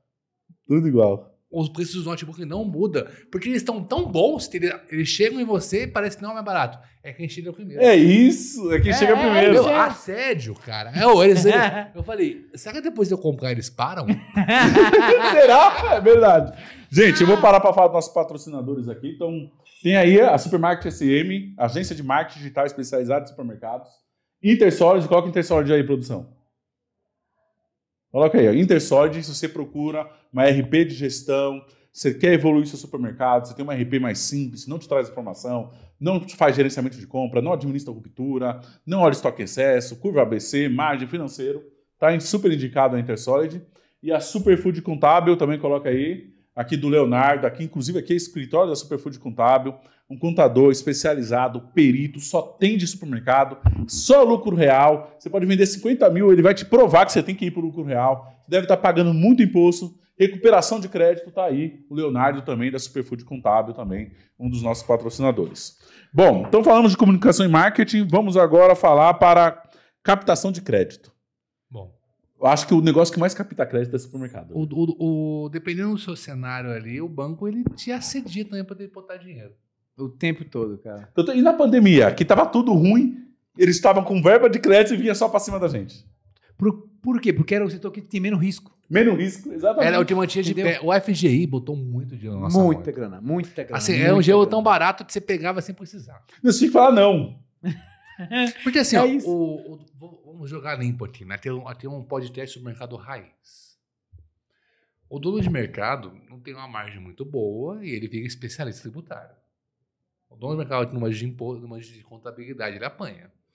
E aí você fala assim, cara, por que, que ele é bom o mercado? Porque como é do lucro real, quanto mais você investe, menos imposto você paga. Porque vira despesa, você vai trazer Diminui seu você. lucro líquido. Então, Então, que, o- porque o, o imposto no que você paga não é só baseado no que você vende compra. é sobre o teu lucro real. É sobre o lucro real, cara. Todo investimento que, que, que você faz na, na sua empresa, melhor para falar isso para você é a Superfood Contábil, para te explicar direitinho. Mas tudo que você gasta, você é obrigado a comprar com nota fiscal, você abate. que já- A conta, a conta é simples. Tem depreciação de, de, de- Ó, de, de carro. se, que você, se você colocar como despesa, é 34% do valor. Então, se você investir um mil reais, o seu custo real é 660. 100 mil, seu custo real é 66. Ah, mas não é despesa, é ativo mobilizado. Você vai depreciar durante 5 anos, é 34% do valor que você vai recuperar. Então, se você compra um carro, seu carro pessoal em nome da tua empresa, esse carro de 100 mil vai custar 66. Ponto. Sabendo disso, o dono de mercado fala assim, então eu vou começar a deixar minha empresa muito rica e eu pobre. Só que daí traz um problema contábil, porque você começa a fechar todos os seus balanços, aonde você vai ter mais passivo, você tem muito passivo e pouco ativo, você não tem liquidez. Você dá um balanço, chama balanço invertido. Ah, Dimas, explica melhor. O supermercado acaba ficando muito endividado. Porque ele começa a botar muita despesa para dentro. Então o O sócio bacen dele vai lá pra cima. ele fica com o balanço invertido. Aí você fala, por que, que o banco coloca tanto dinheiro numa empresa que tem balanço invertido? Não é confuso? Muito. Porém, o banco vê a circulação de dinheiro muito É grande ali dentro. Ele vê suas maquininhas de cartão. Eles amam as maquininhas de cartão. Ama, ama. Muito Cadê a conta funciona- deles? E agora ficou melhor assim, máquina de cartão, porque assim, antigamente travava sua maquininha ali, se você pegava 100 mil reais, travava tudo e não saía. Agora não, né? Agora assim, ele, ele é obrigado a, tra a travar só a Ele porcentagem. agravama A- o, é, o, a- o gravama é de acordo com o que você usou. Exatamente, porque o. Como é que é o nome? Esqueci. Ele não permite que você. Bacen. O Bacen ele não permite que você. Que, que ele trave tudo, cara. É porque, eu te dei a ideia. Então, assim, não Isso- nem precisa, o nem precisa nem cair na, na- nesse teu domicílio bancário. Ele precisa ter só, só o histórico. só o histórico. Isso se chama é, capital de fumaça. Ele vê uma fumaça, ele fala assim, ó, você tem ali no seu de cartão de crédito 200 mil reais.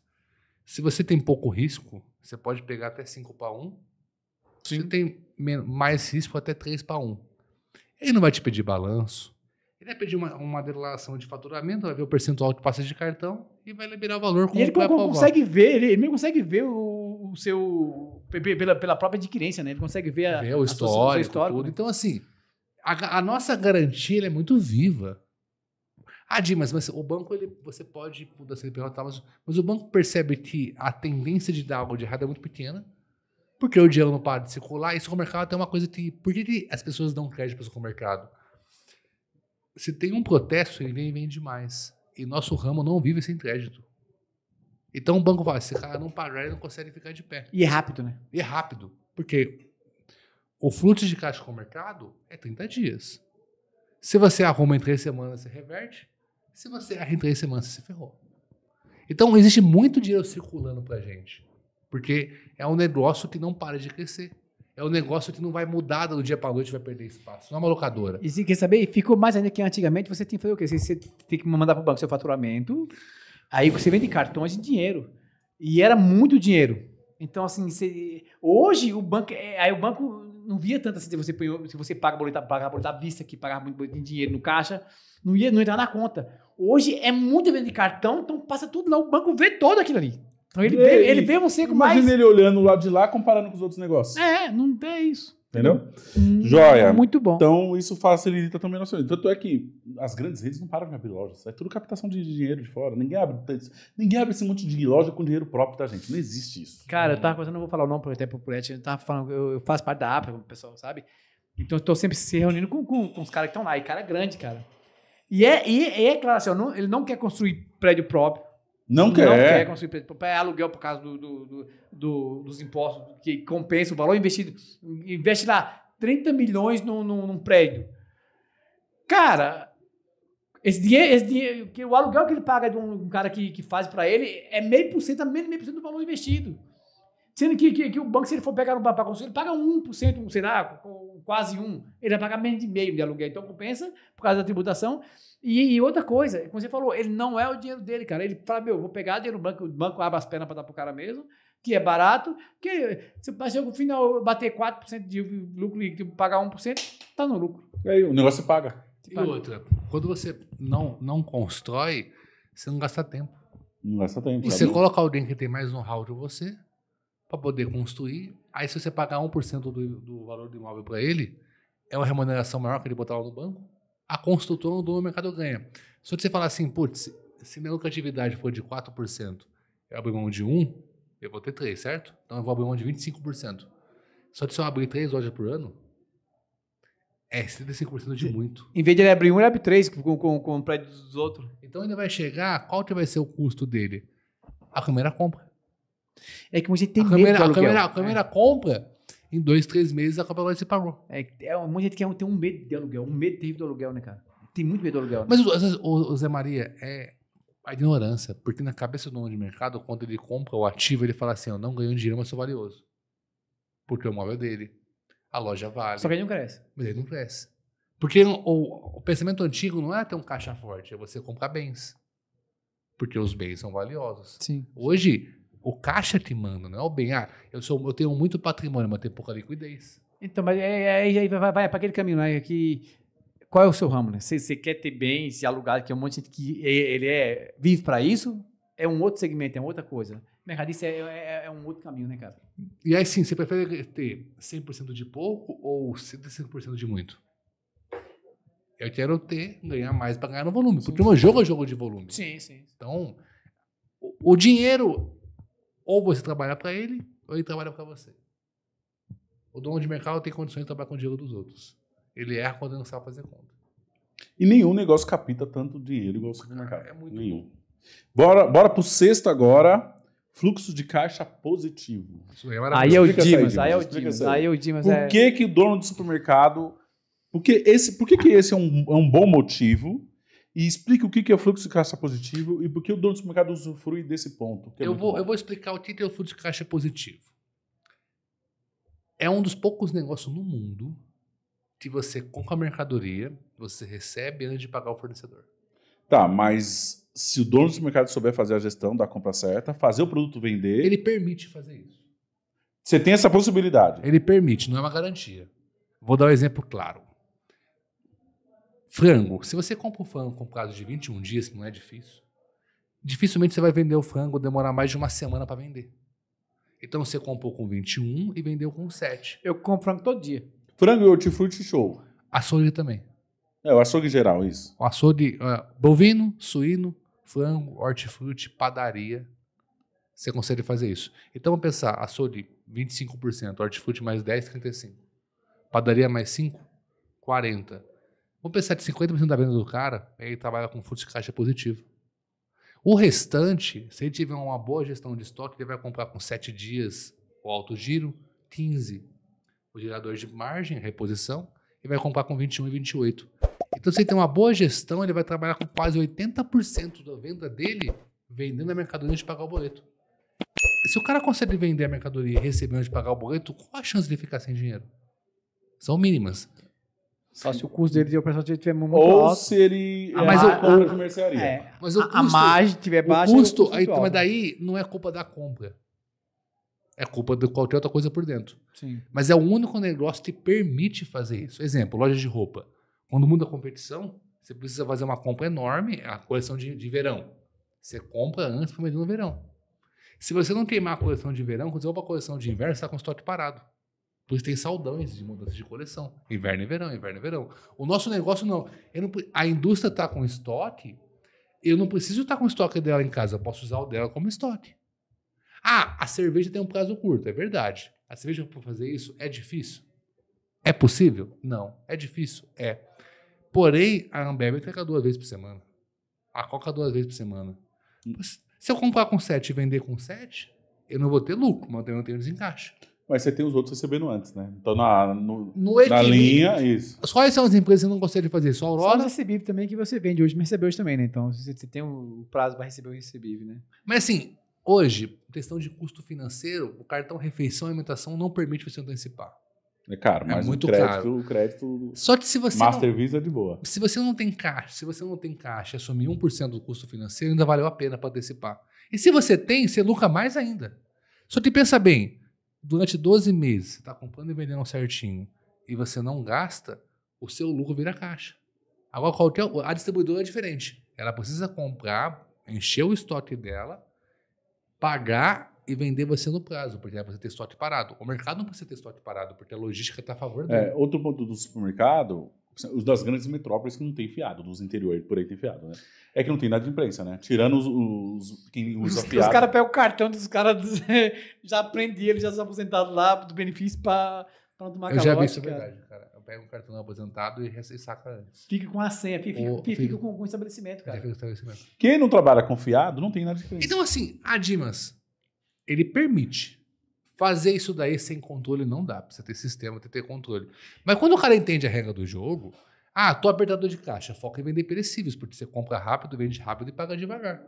Então, fluxo de caixa positivo é a regra. Compra rápido, vende rápido e paga devagar. Tô apertado, acelera o ritmo. Compra rápido, vende rápido e paga devagar. Porque quando o mercado quebra? É quando ele perde o benefício do fluxo de caixa positivo. Quando ele perde prazo e fica sem estoque. Então, o mercado que tem a prazo de pagamento, ele não quebrou ainda. Ele pode estar tomando prejuízo, mas não quebra. Ele só vai quebrar quando ele perde o prazo. Porque quando ele perde o prazo, ele precisa, para fazer uma oferta, precisa botar o dinheiro na frente. Ah, eu quero fazer a oferta do hortifruti na terça-feira. Quero vender 50 mil reais na terça. Só que na segunda ele precisa ter pelo menos 35 mil reais na mão dele. Se ele está sem dinheiro, como que ele vai botar 35 mil na mão dele para ele poder comprar e vender o hortifruti para ele receber? Só que na quarta-feira precisa comprar de novo. Só que ele não recebeu o vendeu na terça ainda. Ah, mas eu vou antecipar tudo, não é tão rápido. Questão de dois, três dias ele se, ele se perdeu nessa história.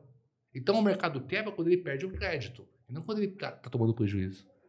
Ah, Di, mas então o mercado aguenta tomar prejuízo? Aguenta. Seis meses de prejuízo ele aguenta. Porque ele ainda tem crédito. Ele vai se autoconsumindo. Por isso que o crédito, ele é bom ou é ruim. Ah, tô tomando prejuízo na DRE. Eu tenho crédito, eu tenho estoque. Eu vou consumindo estoque, eu vou consumindo estoque, eu vou consumindo crédito. Aí, quando ele começa a ficar apertado, ele vai lá e pega dinheiro emprestado. Então, ele bota mais crédito no caixa dele para ele continuar comprando e vendendo. Aí ele ficou apertado, fez empréstimo, o empréstimo começa a virar um custo para ele e começa a abrir mão de margem. Aí quando ele começa a quebrar. Porque o rombo é muito grande? Porque ele, em vez de entender que está sem dinheiro, ele começa a buscar crédito e não tampar o buraco. Porque o crédito é muito disponível. Se você tem, ó, hortifruti, se você está comprando com 28 dias, significa que você fez oito compras, no mínimo, para poder pagar a primeira. Se você vende 20 mil reais por semana, você está 80 mil reais alavancado na frente. Se o açougue você vende 500 mil reais por mês, em três semanas você está 300 mil reais ou 400 mil reais na frente de dívida. Então, o fluxo de caixa permitivo fala você fica com muita alavancagem de contas a pagar e com dinheiro na mão. Então, quando o mercado está sem dinheiro, faz muito tempo que ele deixou de empatar. Que ele entrou no prejuízo. Está no prejuízo. Faz muito tempo. Porque se ele compra a prazo e recebe à vista, ele vai estar com todo o dinheiro na conta dele. Agora, ele está comprando a prazo e sem dinheiro para poder pagar o boleto, então, pelo menos de 21 a 28 dias é a necessidade de capital de giro dele. Então, quando você fecha o fluxo de caixa, ah, Dimas, como é que você recupera a empresa apertada? Eu vejo hoje, não importa onde ele esteja, tá? ele pode estar menos 300 mil. Que dia que ele fica positivo? Ah, ele fica positivo dia 28 de maio. Hoje é dia 27. Não é? Então, ele tem 31 dias de necessidade de capital de giro, ou seja, ele precisa de 31 dias ou do, ou do banco, ou do fornecedor, ou atrasando o boleto para saber. Aí, o que, que você faz? Eu não tento arrumar hoje e nem amanhã. Eu tento fazer essa diferença ficar menor, ao ponto da diferença, se for, por exemplo, 14 dias, o prazo médio para aumento for de 21 dias, eu falei, ele está tá salvo. Porque a próxima compra fica depois do fluxo. Então, as pessoas, quando está apertado, ela fica desesperada, quer botar o empréstimo. Ah, minha conta está menos 150 mil. Ela botou 150 mil reais e pagou a conta. Mas no futuro, talvez, deve faltar mais 100 lá. Você não corrigiu a origem do problema. Então, a solução é você saber qual o tamanho do problema. Ah, em 31 dias eu preciso de 400 mil. Ou você coloca 400 mil, ou você faz alguma coisa para reduzir gradativamente o prejuízo. E via de regra, a solução não é colocar dinheiro. Porque você coloca, você ofusca. O fluxo de caixa, pessoal, é como se fosse uma caixa d'água na sua casa. A água da rua vem, mantém sempre a caixa cheia. Quando acaba a água da rua, você tem uma caixa à sua disposição. A diferença do dono de mercado começa com a caixa cheia. E as pessoas de fora precisam encher. Essa é a diferença. Nós começamos o mercado com um prazo. A minha caixa está cheia de água. Qualquer outra empresa de fora começa com a caixa vazia. Ele precisa fazer lucro, lucro, lucro, lucro para encher a caixa d'água. A gente não. Quando a gente fica sem água, a gente não para para olhar se tem algum ralo. Você manda, manda botar mais água aí que eu tenho dinheiro, eu tenho um crédito. Porque o banco libera muito dinheiro. É, o crédito vira um vilão. Né? Aí vira um vilão. Então, o fluxo de caixa positivo permite você montar a loja sem dinheiro. Ah, você vai inaugurar uma loja. Pô, você pode primeira compra fazer com dois meses? Você vendeu, comprou, vendeu, comprou, vendeu, comprou. Se você precisar botar um milhão de reais de estoque, você não precisa de um milhão na conta. Porque o prazo faz girar. O prazo é muito Legal. importante. O prazo é o maior. O cara que perde prazo, ele está no fim do pulso. Ele pode estar tá fechando negativo, ele pode estar tá sendo roubado, ele pode estar tá fazendo o que for. Mas enquanto ele tiver prazo, ele consegue reverter. É, se ele tiver um prazo pequeno por opção, porque ele tem um caixa bom, melhor ainda, né? Que aí porque daí é... ele começa a comprar melhor. É. Eu estava numa rede. Mas descer de um prazo grande. Mas, eu, eu, tava, eu tava em reunião ontem, só para poder concluir esse assunto. Faturava 11 milhões. antecipava todos os cartões de crédito. Eu falei, qual o custo financeiro da antecipação? 50 mil reais. Pô, 50 mil reais de custo financeiro por erro de operação. Ah, como que eu subo a minha margem para ser da guerra de preço?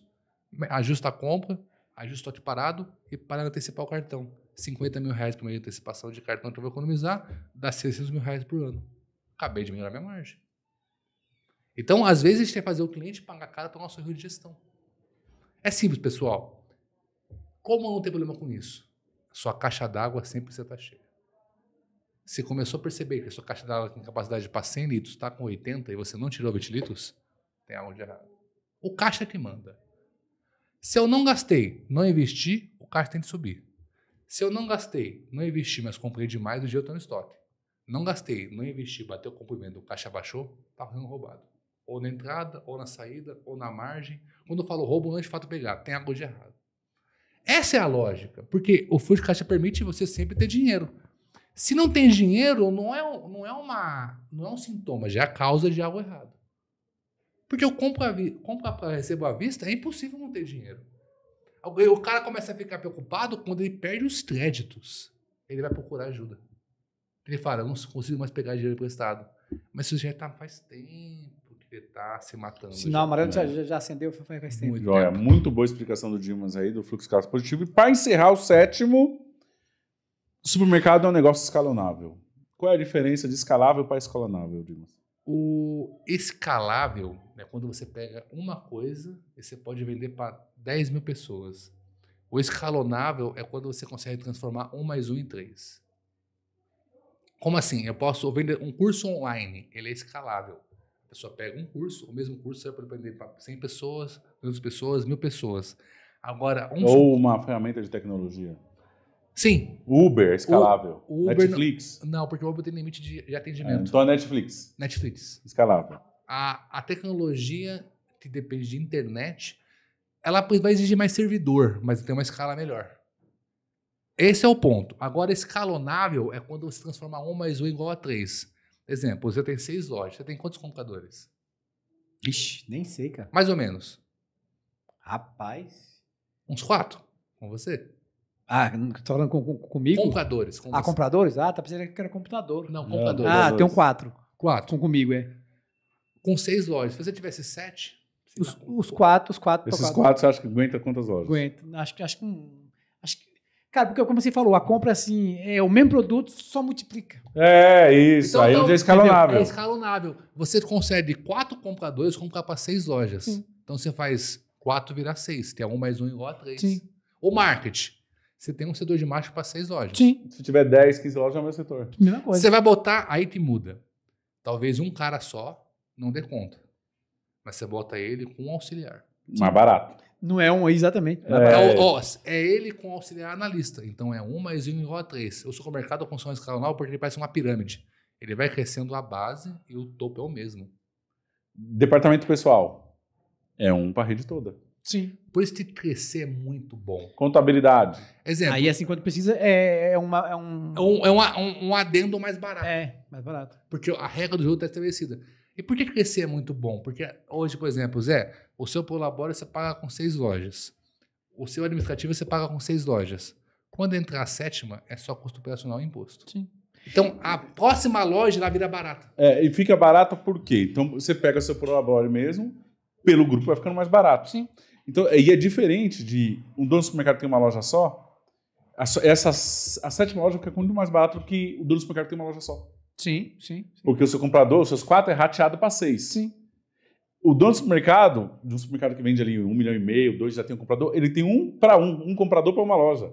Você tem quatro dividido para seis, então já é menos de um comprador, não é verdade? O que, que é que eu te falo mais? Se pegar firme mesmo, se, se pegar firme mesmo, você pode ir para oito lojas, nove lojas, que não muda, não muda muita coisa. O que vai mudar é o processo. É o processo, é. Se você tem um bom processo, você é. escala lá melhor. Ó, é, você chega no anunciado lá, que eu, eu tô lá. O que, que me faz? O menino pega pra lá assim, ó. Loja 1, 1, 2, 3, 4, 5, aí vai colocar 5 para 1, 5 para 2, dá pro cara já uma montadinha assim, ó. Isso é... Acabou. Acabou. É, só aumentou. Só que hoje, por exemplo, você, o seu custo para uma loja X, para seis lojas é outro X. Sim, sim. Aí que tá o escalonável. Sim. Porque é o mesmo produto.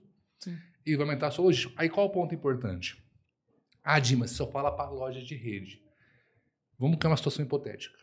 Um supermercado de 300 metros quadrados que fatura um milhão de reais. Ele vai ter um custo personal de 18%. Se essa mesma loja faturar um milhão e 200, o custo dele vai para 16. Sim. Porque o escalonável, aonde você deixa esse custo fixo e quando você aumenta a venda, ele não sobe junto. Só muda o variável. Então, o escalonável permite você ratear a despesa. Ou ter outros negócios não permite.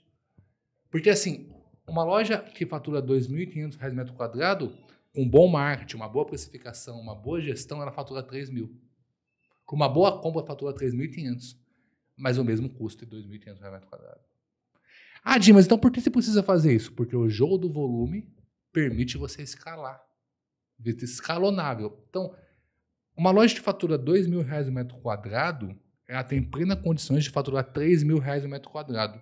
Só que ela vai ter o mesmo comprador, o mesmo DP, o mesmo RH, o mesmo gerente. Vai, talvez aumentar um pouco de caixa, um pouco de repositor. Mas, Mas a, é muito pouco. a curva de crescimento perante a curva de custo é bem menor. Um operador do caixa lá, ela atender, vamos lá, 100 clientes em um dia, ela atender 150, ela custa a mesma coisa. E aí você ganha o jogo quando você para um pouco apenas de focar em cliente novo, não pode parar. Mas você começa a dividir sua energia em cliente novo e aumentar o ticket médio. Quando você foca no ticket médio, você começa a escalonar de verdade. Porque o mesmo cliente que comprou 5 reais a mais, eu não preciso de mais pessoas para atender ele. Só que seu ticket médio por 50 reais e você ganhar 5 reais de ticket médio, você vai de 50 para 55. Ou seja, cresceu 10% no ticket médio e o seu faturamento cresceu 10%. Então, é uma. Você volta lembra ter uma lógica? Traz cliente novo e faz o mesmo cliente gastar mais. Aí, aí que a escala na funciona. Mesmo ponto, que atende 20 mil pessoas, atendeu 22 mil, cresceu 10%. O custo fixo é o mesmo. Mesmo ponto, que tem o ticket médio de 50 reais, se foi para 55 reais, cresceu 10%. É o mesmo ponto.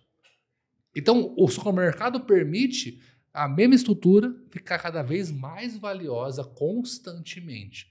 Ah, Dimas, então como que funciona o jogo do metro quadrado? É isso.